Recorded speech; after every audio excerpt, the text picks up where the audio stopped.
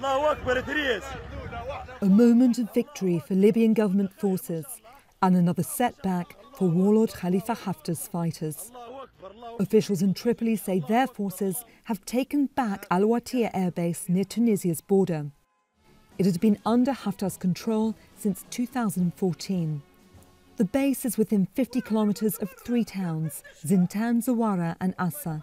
Its location had made it difficult for government forces to find a secure area where they launched ground and airstrikes to retake the base in early May. The fighting resulted in heavy losses on both sides.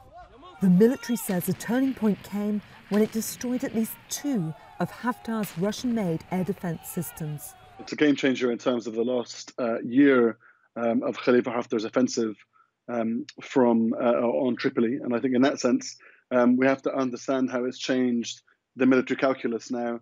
Um, Haftar had imported um, two uh, um, Russian air defense systems there in recent days in order to safeguard it. And that tells you the value uh, of that asset to Khalifa Haftar. They'd, they'd fought bitterly uh, over this asset since 2015, in fact, since the first civil war that was sparked by Khalifa Haftar in 2014. Now it's a major development because it really alters the way in which Haftar can uh, uh, continue his offensive on Tripoli.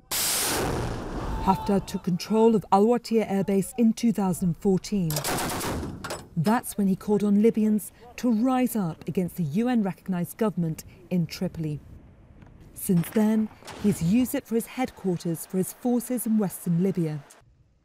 Haftar has been launching strikes there since April 2019 to support his offensive to seize control of the capital. An offensive that's killed more than a thousand people.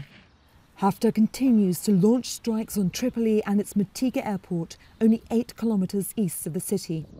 But he no longer has any air bases in the west, while he still controls large swathes of land and oil fields across eastern and southern Libya.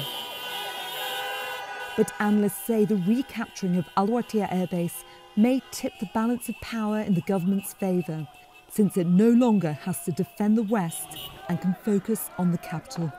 Laura Burdon Manley, Al Jazeera.